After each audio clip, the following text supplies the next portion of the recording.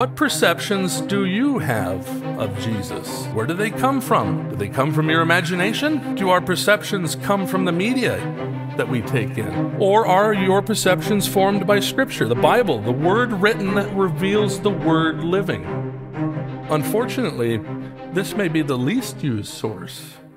The resurrection of Christ kind of feels like a, a climax to the, to the story. That empty tomb seems it kind of feels like the, well, that's the end. That's the end of the story.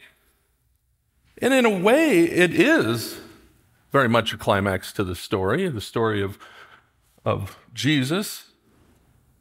But that's not where uh, Luke ends his gospel. Thankfully, that's not where Luke ends his gospel, because as we're going to see this morning, there were problems, there were issues that needed correction. There were perceptions that needed to be changed. Now, I want, I want to take a, just a moment to talk about how we perceive the world around us.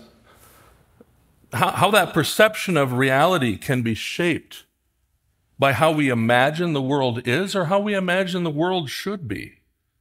To do this, I need some assistance uh, to illustrate it. The, the, last time I spoke, I made reference to something my younger daughter said. So now this morning, I'm going to ask to be a fair parent. I'm going to ask my older daughter to come up here just to help me illustrate this. Now, when you picture Jesus in your mind, do you picture Jesus taller than you? I do. Honestly, I've always pictured Jesus taller than myself.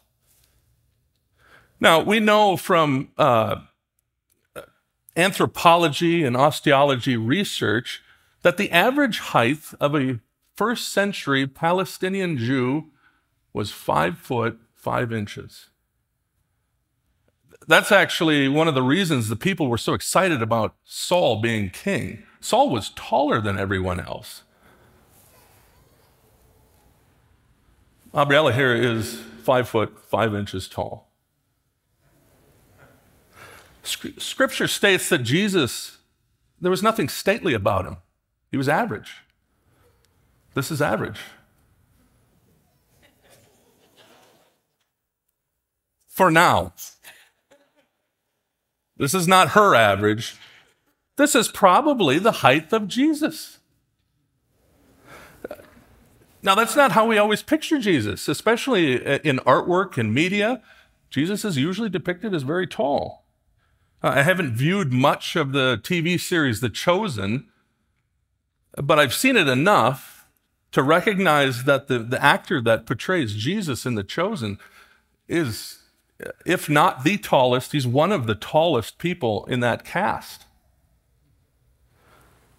But this is how it affects, this is an example of how our perceptions are affected by how we imagine things. The greatness of Jesus, we recognize his greatness, and his greatness forms our perception of even his physical stature. Okay, you, you can go back. Thank you very much.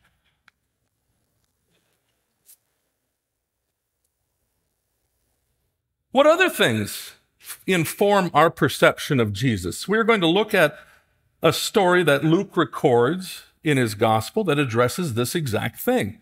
If you would please turn in your Bibles to the gospel according to Luke, Luke chapter 24.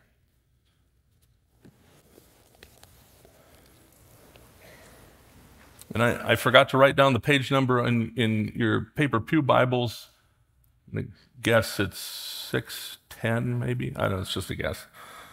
But we're going to read uh, verses 13 through 35 of chapter 24. And if you would please stand for the reading of God's word. Verses 13 through 35. That very day, two of them were going to a village named Emmaus, about seven miles from Jerusalem and they were talking with each other about all these things that had happened. While they were talking and discussing together, Jesus himself drew near and went with them. But their eyes were kept from recognizing him. And he said to them, What is this conversation that you are holding with each other as you walk? And they stood still, looking sad. Then one of them, named Cleopas, answered him, Are you the only visitor to Jerusalem who does not know the things that have happened there in these days? And he said to them, What things? And they said to him, Concerning Jesus of Nazareth, a man who was a prophet, mighty in deed and word before God and all the people, and how our chief priests and rulers delivered him up to be condemned to death and crucified him.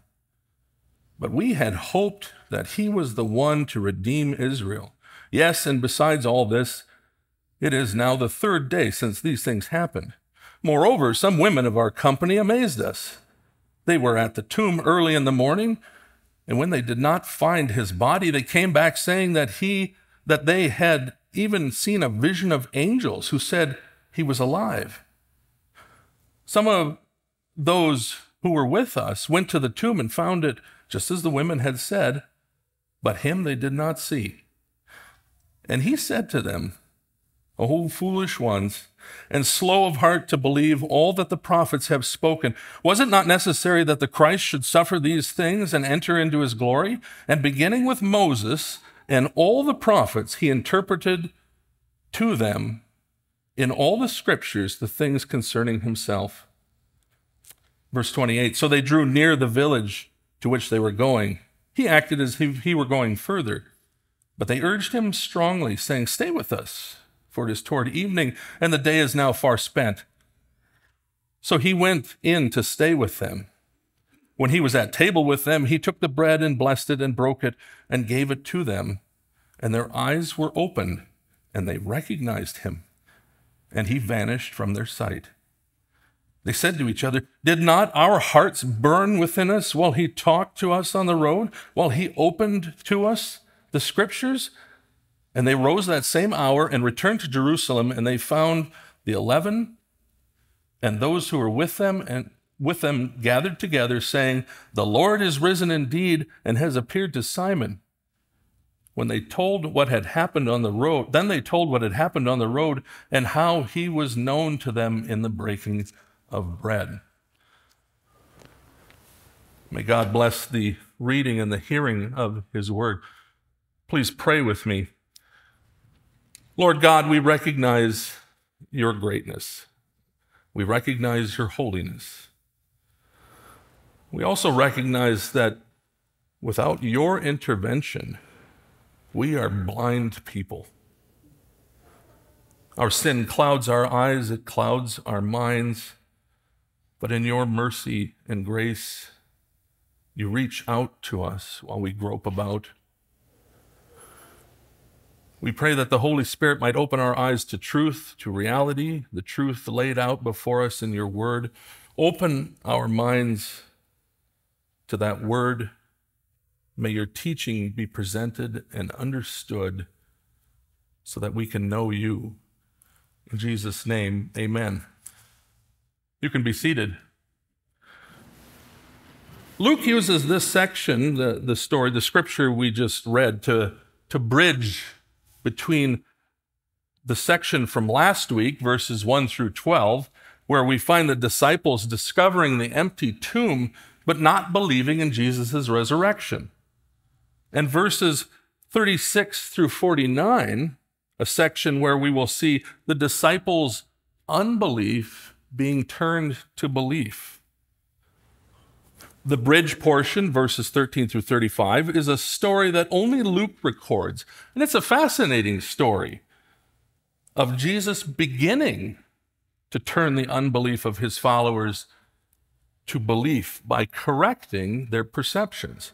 Now, if we go to verse 13, we read the phrase, that very day. The events that follow are on the same day as the events in the preceding 12 verses. It is Sunday, the first day of the week, the day of Jesus' resurrection. It is obvious that some time has passed, but it's still the same day. We find two people, traveling companions, going down the road. Now, these two people are relatively nameless, although uh, one we find out one of them is named Cleopas. but still, this is not a, a significant person outside of this story. They're, they're just relatively unknown. There's a fair amount of speculations by scholars that uh, this, this may have been a husband and wife. But truth is, we, we just don't know. Luke doesn't specify. What we can deduce is that these two traveling companions were disciples of Jesus. They, of course, are not part of the 12, that, that inner circle, but we're part of a wider group of followers. Because this section is connected to the previous one, Luke uses the phrase two of them. The them is part of the subject of the previous being the disciples. So we know that more than just the 11 disciples and the group of women were staying in or near the city after the crucifixion. This is also indicated in Acts with the uh, story of Pentecost, where there was a large group of disciples in Jerusalem awaiting the giving of the Holy Spirit.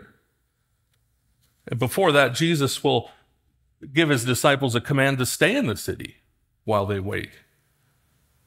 Jesus seemed to desire that his followers and disciples remain together as a group, at least at certain times up to the time of Pentecost. Now, these two disciples are traveling to a village called Emmaus. Emmaus is uh, lost to time. We don't know exactly where it's at, but this, the text says it's about seven miles from Jerusalem, probably north northwest uh, of Jerusalem. Now, this is where a modern translation of the, the Bible is nice because I understand seven miles. If you have an older translation, it's going to say something like three score furlong, and I have no idea what that is, but apparently it's something like seven miles. So these disciples were looking at roughly a two hour walk. We don't know exactly why these two disciples left Jerusalem. Emmaus may have been home for them. Their home could have been further away, and maybe Emmaus was just the, the first stop on their travel. The interesting thing is that you could say these two left a funeral early. Now, if you recall, a, a, a Jewish um, period of mourning is one week. And these two aren't apparently sticking around for that whole week after Jesus died. They're, they're heading home. And this may give us some insight into what they were thinking and feeling at the moment. What gives us more insight is that verse 15 says they were talking and discussing with each other. They were energetically debating all the things that had occurred in the last few days, maybe, maybe the last week, maybe more. They were talking about all the things surrounding Jesus. They had a couple hours to kill. So they were discussing back and forth the events, trying to make some sense out of it.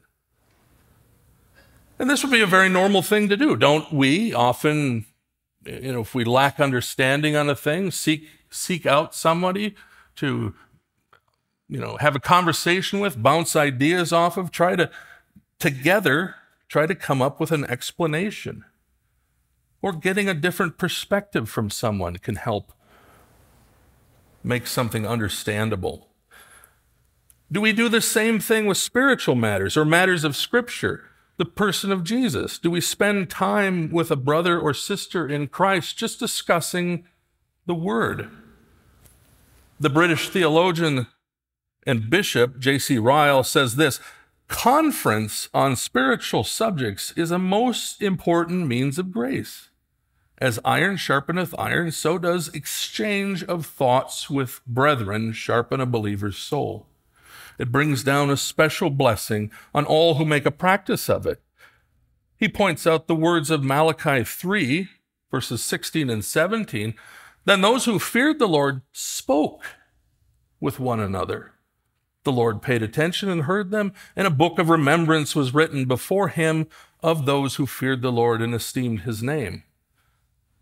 They shall be mine, says the Lord of hosts, in the day when I make up my treasured possession, and I will spare them as a man spares his son who serves him.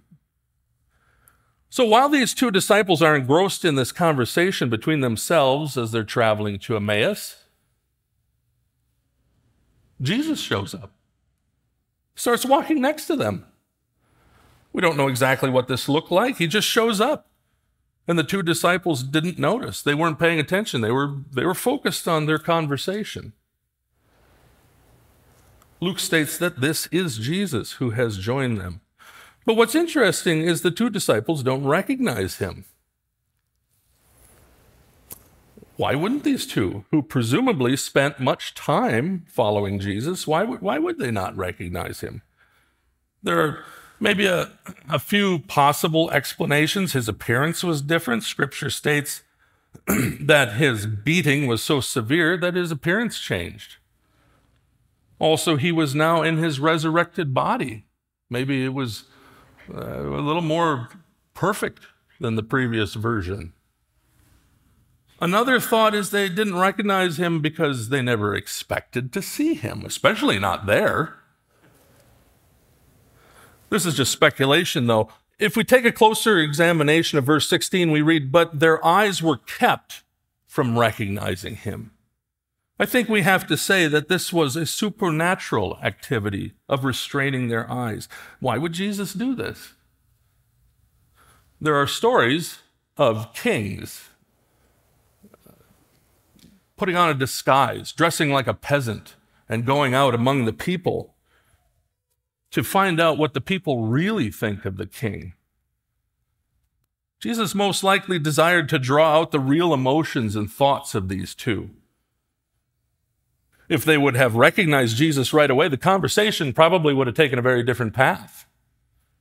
And what he wanted to teach them may not have registered.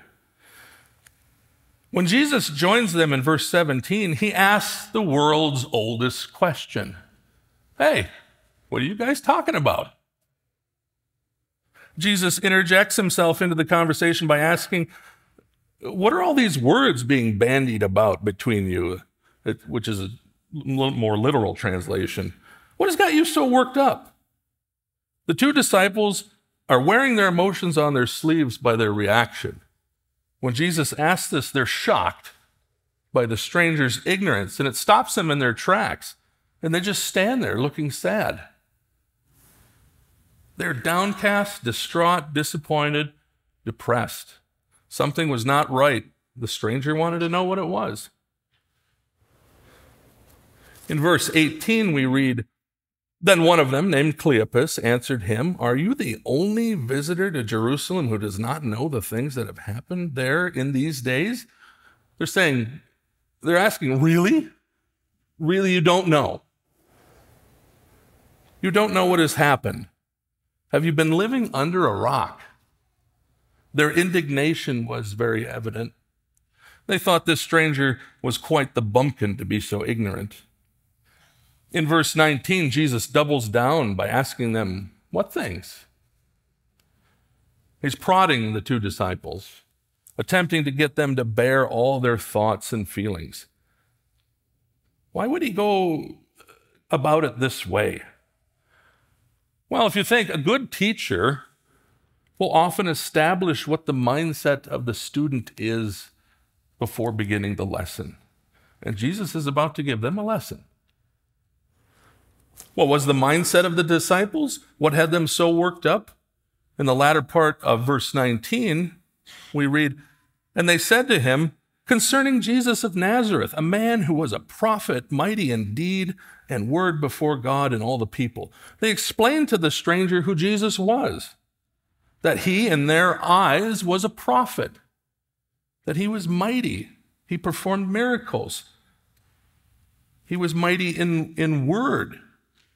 He could speak and preach with authority and rally followers, criticize enemies, and that he was obviously favored by God and blessed greatly by God to be able to do this.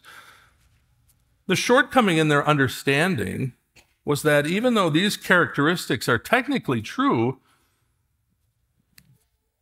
they are wholly inadequate to fully describe Jesus. He's much more than that. In their minds, where things went wrong, they describe in verse 20, and how our chief priests and rulers delivered him up to be condemned to death and, cru- and crucified him. Things went wrong because the chief priests and rulers were the very ones who should be able to recognize a prophet or someone blessed greatly by God. But they didn't. Instead, they turned Jesus over to the Romans for trial and execution. Again, the shortcoming in their understanding was that these disciples were still trusting in their current religion. They believed that the religious leaders were not really the enemies of Jesus' message.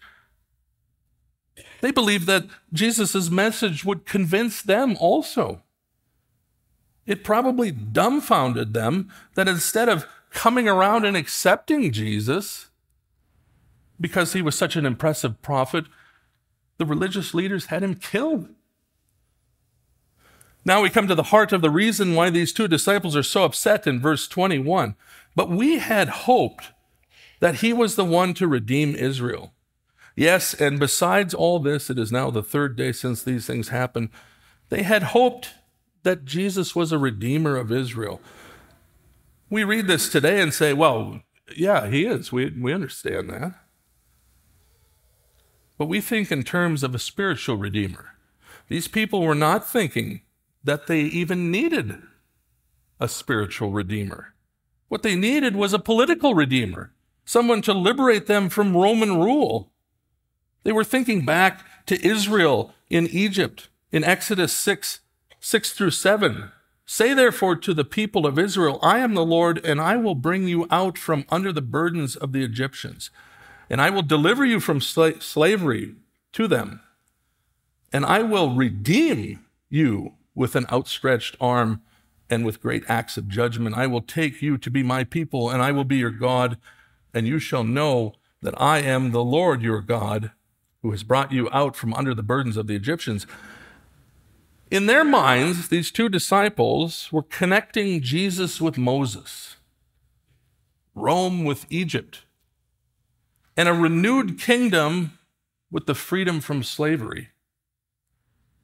They really were expecting a political redeemer, an earthly king, a warrior to defeat the Roman oppressors. They built all this up in their minds. To add to their confusion, you have the events of the morning, which relate the stranger, which, which they related to the stranger, recorded in verses 22 through 24, that uh, where we find the, the women in our company. Again, this would indicate that these two disciples were present and part of the larger group of disciples, and therefore would have heard the report from the women of the tomb being empty. Just like the 11 disciples, these two apparently had disregarded the report of the women. The women said that angels told them that Jesus was alive, but some others went to the tomb and found it empty. No one found Jesus alive. Now, Jesus had been listening to all this and finally responds in verse 25. And he said to them, O foolish ones, and slow of heart to believe all that the prophets have spoken. Jesus calls them fools. I can imagine that this response caught the two disciples off guard. I, I mean, who are you to call us fools? You didn't even know what was going on in Jerusalem. The word here that gets translated to foolish is anoetos, and it means senseless or without understanding. Jesus describes them as just not getting it. You're not getting the point. and your hearts are slow to believe. You have all the information, all the prophets have spoken. It should be obvious. You are just refusing to believe. He then asked them a rhetorical question, verse 26 Was it not necessary that the Christ should suffer? The prophets said it would happen. It was necessary for Jesus to suffer to fulfill Scripture and enter into his glory. The prophets said that it would, it would happen too, but after the suffering.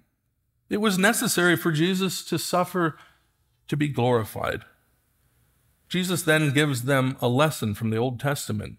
And beginning with Moses and all the prophets, He interpreted to them all the scriptures, the things concerning himself, all the prophecies concerning himself, the descriptions, the events, and the purposes he gave to these two disciples the interpretation.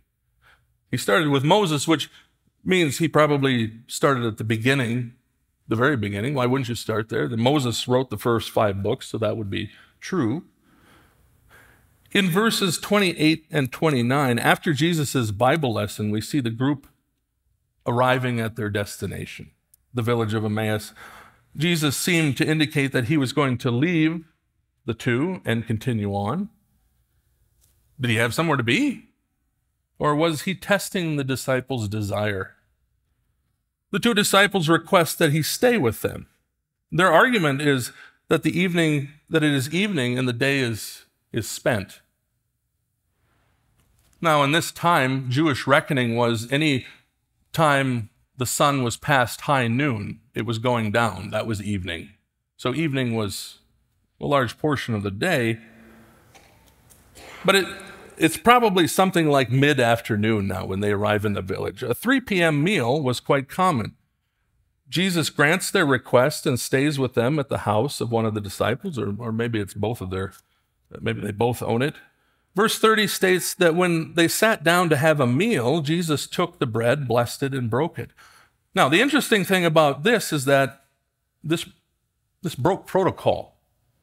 The, the homeowner, the host, was the one who usually served. But Jesus takes the role of the host.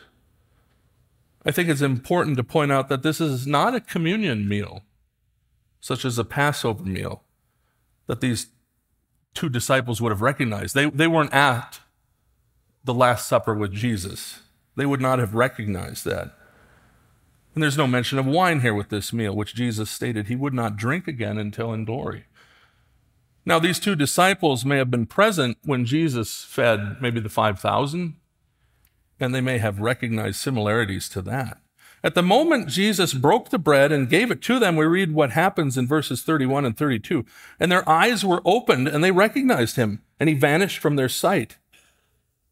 They said to each other, Did not our hearts burn within us while he talked to us on the road, while he opened the scriptures? First off, they fully recognized Jesus. Their eyes were opened. Now, how did this happen? Did they finally recognize him? Was it something he said or did that was familiar? Was it better lighting? Or was it just like before, when their eyes were kept from recognizing this is something supernatural? As soon as they do recognize him, however, he vanishes from their sight. We ask, why would that be? It seems like it would be right at this point that the two disciples could really start enjoying Jesus' company. Instead, he up and disappears. Once the disciples recognized him, they were going to go wherever he went. They were going to stick with him. But really, he had accomplished his task of setting their mindset right. And I think he wanted them to go back to Jerusalem, to the other disciples. And now we see them sitting by themselves. They ask each other, Did not our hearts burn while he spoke? As he opened the scripture, the two disciples experienced, when, when Jesus was describing himself in the scripture, these two disciples, disciples were experiencing one aha moment after another. Their emotion was so great that it caused a physiological response. And we're familiar with that, right? Heartbreak really causes chest pains. Nervousness really causes the stomach to churn. Joyous excitement really causes the heart to race and burn. And we've probably all experienced that. What did the disciples do now? In verses 33 through 35, it says that they immediately, that very hour, returned to Jerusalem. They made the two hour walk back, probably at a quicker pace this time. It's still the same day, so they would have made it back to Jerusalem before sundown. They find the 11, it states. But again, this group is most likely more than just the 11 disciples, and, they, and they're gathered together. Now, the passive voice, perfect tense usage of the verb here for gathered together suggests that uh, this group of believers was now permanently joined together. Perhaps that is why Jesus appeared to these disciples on the road that had walked away from Jerusalem in disappointment to turn them back, that they would be joined to this beginning core of believers. They found the group talking about Jesus appearing to Simon. Now, we, we don't know exactly what this, which appearance this was, the one to Simon, but it indicates that they were starting to believe. The two disciples tell their story. They relate all that happened to them about meeting the stranger on the road, how he interpreted scripture, about the Messiah, how their hearts burned, the breaking of bread, and the revelation of Jesus to them. At this, all this motivated them to pro- proclaim Jesus like it should us. What can we say about these two disciples and their perception of the Messiah? Their emotional state when they began their journey was one of massive disappointment. This was caused because their perception of the Messiah was that he would be a political reformer, a warrior liberator, a conqueror king. Their minds were in the here and now. They desired an earthly kingdom. Now, we can't be too hard on these disciples individually. They're, they were no different than the other disciples. In Mark 10, 35 through 38, we read, And James and John, the sons of Zebedee, came up to him, that being Jesus, and said to him, Teacher, we want you to do for us whatever we ask of you. And he said to them, What, what do you want me to do for you? And they said to him, Grant us to sit, one at your right hand and one at your left in your glory. Jesus said to them, You do not know what you are asking. Are you able to drink the cup that I drink or be baptized with the baptism with which I am baptized? Now, James and John were thinking also of Jesus building an earthly kingdom, and they were asking for positions of power and influence in his kingdom. This is the same mindset as Judas. Judas didn't betray Jesus because he hated Jesus. He realized that Jesus was not going to be the type of Messiah that he wanted. So he thought that maybe, well, maybe I could at least profit from it, was maybe what he was thinking. Or maybe he thought once Jesus is backed into a corner, he'll unleash his true power and become the conquering political Messiah that he wanted. The disciples had no understanding or very little understanding of Jesus speaking of a spiritual kingdom but he said it to Pilate. When Pilate asked him if he was a king, Jesus responded, My kingdom is not of this world. My kingdom is from another place. What's disappointing for us is that Jesus gives probably the greatest Bible lesson in all of history that completely changed the disciples' perceptions of Jesus, and we don't know what he said because Luke didn't record it.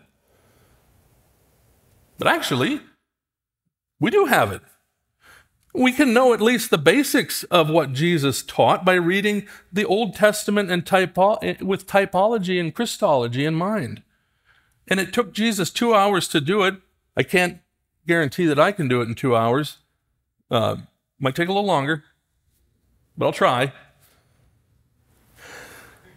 So here we go. Starting with Moses. Moses wrote the promised seed, the promised seed, Genesis 3:15. God speaking to the serpent, I will put enmity between you and the woman, and between your offspring and her offspring. He shall bruise your head, and you shall bruise his heel. Obviously, the serpent in the garden was a divine being. The seed of the woman would be human. So we have to ask how can a, how can a human defeat a divine being? Well, it, it implies that the seed of the woman will also be divine, to be able to crush the head of a divine being. The very creatures that the serpent wanted to destroy will be his undoing. The promised blessing, Genesis 12, 3. I will bless those who bless you, and him who dishonors you I will curse. And in you all the families of the earth shall be blessed. Only the Messiah could literally bless all of the families of the earth. The promise of eternal. Genesis 17, 19, God speaking to Abraham, God said, No, but Sarah your wife shall bear you a son, and you shall call his name Isaac. I will establish my covenant with him as an everlasting covenant for him, his offspring after him. The Messiah will have an everlasting bond to his people. The promise of an everlasting kingdom, 2 Samuel 7 16, God's message to David. And your house and your kingdom shall be made sure forever before me. Your throne shall be established forever. The Messiah would be a king and a ruler forever. Now, at this point, we could, we could understand the disciples would probably have been in full agreement. This is exactly the type of Messiah they wanted. Hopefully, they would have been picking up on the fact that the Messiah would be both human and divine to be able to fulfill these. Next, Jesus may have started talking about the promise of sacrifice. Genesis 22, 6 through 8. And Abraham took the wood of the burnt offering and laid it on Isaac his son. And he took his hand, and in his hand he took the fire and the knife. So they went both together of they went both of them together. And Isaac said to his father Abraham, My father. And he said, Here I am, my son. He said, Behold the fire and the wood, but where is the lamb for the burnt offering? Abraham said, God will provide for himself the lamb for the burnt offering, my son. So they went, both of them together. Abraham had Isaac carry the wood for the altar that he would be sacrificed on, just as Jesus carried his own cross. But before Abraham could sacrifice his own son, the knife was stopped. 2,000 years later, God the Father would take his own son, Jesus, up the same hill and provide him as a sacrifice. And this time, the knife would not be stopped. The promise of covering blood, Exodus 12, 13. The blood shall be a sign for you on the houses where you are. And when I see the blood, I will pass over you, and no plague will befall you to destroy you when I strike the land of Egypt. The sacrificial blood is necessary for God's judgment to pass over those covered by it. A perfect and pure sacrifice is needed. Also, in Numbers, it states that the Messiah will be a perfect and pure sacrifice because no bones will be broken. The law stated that no bones were to be broken of the sacrificial lambs. And during the crucifixion, Jesus' legs were not broken, which was not typical.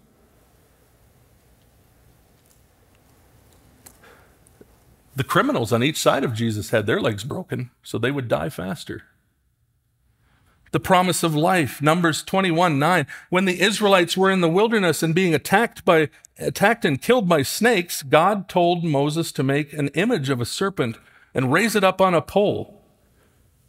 So Moses made a bronze serpent and set it on a pole, and if a serpent bit anyone, he would look at the bronze serpent and live.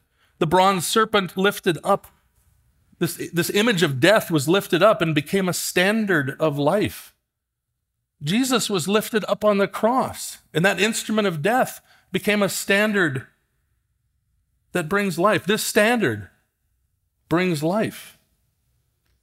The promise of being cursed, Deuteronomy 12, 22 through 23, God's law states, and if a man has committed a crime perish, punishable by death, and he is put to death, and you hang him on a tree, his body shall not remain all night on the tree, but you shall bury him the same day. For a hanged man is cursed by God. A criminal that hangs on a tree is cursed by God. The Messiah couldn't possibly be cursed by God. He couldn't possibly die on a cross, a tree.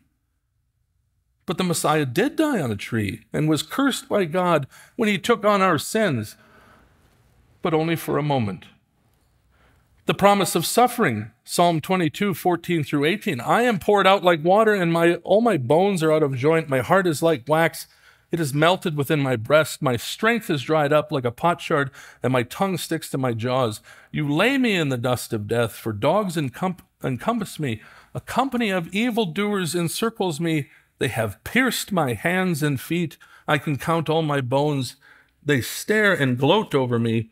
They divide my garments among them, and for my clothing they cast lots. David, this is David. David can be read with typology. His lament can be read as Christ's lament.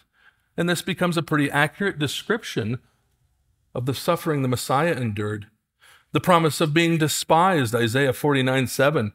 Thus says the Lord, the Redeemer of Israel and his Holy One, to one deeply despised, abhorred by the nation.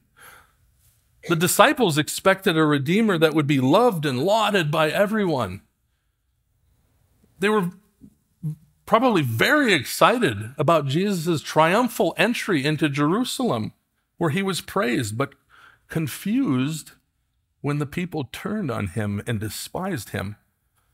The promise of his death for us, Isaiah 53, 2 through 5. For he grew up before him like a young plant, like a root out of dry ground. He had no form or majesty that we should look at him, no beauty that we should desire him. He was despised and rejected by men, a man of sorrows and acquainted with grief, and as one from whom men hide their face.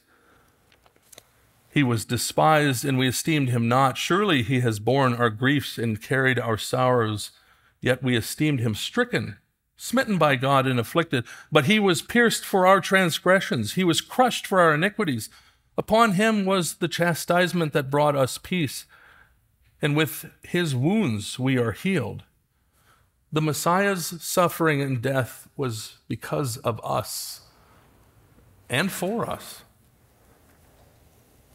The promise of silence, Isaiah 53 7. He was oppressed and he was afflicted, yet he opened not his mouth. The disciples expected a Messiah of authority that would could destroy an enemy like Pilate, like the Romans. Instead, Jesus was silent before Pilate. The promise of atonement, Isaiah 53 10 and through 12, yet it was the will of God of the Lord to crush him. He has put him to grief when his soul makes an offering for guilt. Out of the anguish of his soul we shall see and be satisfied. By his knowledge shall the righteous one, my servant, make many to be accounted righteous and shall bear their iniquities. The disciples believed that the plan had failed. But it was God's plan all along for the Messiah to die, to die for our sin, to make us righteous and the promise of the resurrection. Psalm 16:10 For you will not abandon my soul to Sheol or let your holy one see corruption. The Messiah would not see decay. Other criminals when they were taken down off the cross were thrown in the garbage pit. Instead, Jesus' body was requested by a secret disciple, a rich man, and Jesus was buried in an unused tomb, which is stated in Isaiah. Job talks about seeing his Redeemer in the flesh. Daniel writes of the Messiah having everlasting dominion. And even all the way to Zechariah 14:4 on the future day of the Lord's judgment it says on that day his feet shall stand on the mount of olives that lies before Jerusalem on the east and the mountain and the mount of olives shall be split in two from east and west all these make references to a messiah that is living, which means the Messiah must be resurrected. This list probably just scratches the surface. But these may have been some of the passages that the disciples, these disciples, had trouble with. The Messiah's work was one of spirit. Now, perhaps a moment of, of self reflection. What perceptions do you have of Jesus? Where do they come from? Do they come from your imagination? Because what happens when there's holes in our information? Our minds will just automatically fill them in. Nature abhors a vacuum, even an intellectual one. Do our perceptions come from the media that we take in? Movies and television shows do not have biblical agendas, they have entertainment agendas. They take artistic license and they have a goal of making money. Even fairly decent portrayals like The Passion of the Christ or even, even The Chosen, they're still not scripture. And assumptions are always made. Or are your perceptions formed by Scripture, the Bible, the Word written that reveals the Word living? Unfortunately, this may be the least used source for most people, and imagination perhaps the most used. The problem that the disciples had with their perception of the Messiah is that they did know Scripture. And some of it didn't fit their perceptions of what they thought reality would be or should be. So, what were they doing? They were either ignoring some scripture or they were misinterpreting it. They were letting their take, imaginations take over being driven by their own desires. They had an incorrect perception of the Messiah, therefore, Jesus failed them. if we have an incorrect perception of the Messiah, Jesus will ultimately fail us too. And it won't be when we meet Jesus after our lives are over, it won't be, huh, I pictured you taller. It'll be worse than that. It will be, huh, you're not the God I expected. You're not the God I thought you were.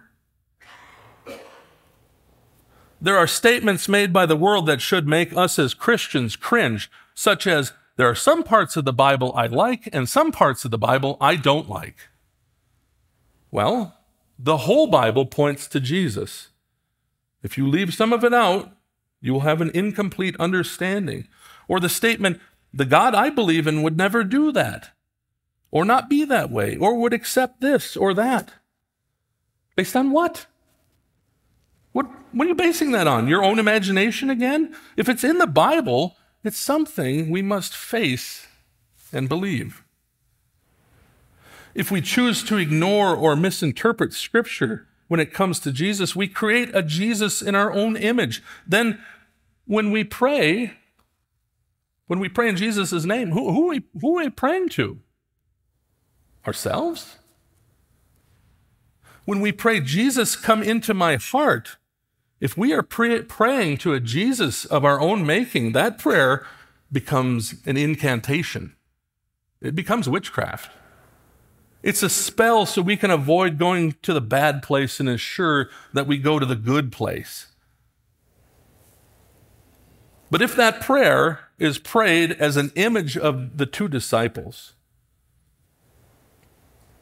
having starting out with your own selfish preconceived perceptions shattered so that your world has crumbled down with Jesus revealing himself to you from scripture and having your perceptions realigned to scripture our heart burning within and creating desire to be with Jesus, inviting Jesus in, having that increased level of intimate relationship pictured by the sharing of a meal together, having your eyes open to see, truly see who Jesus is.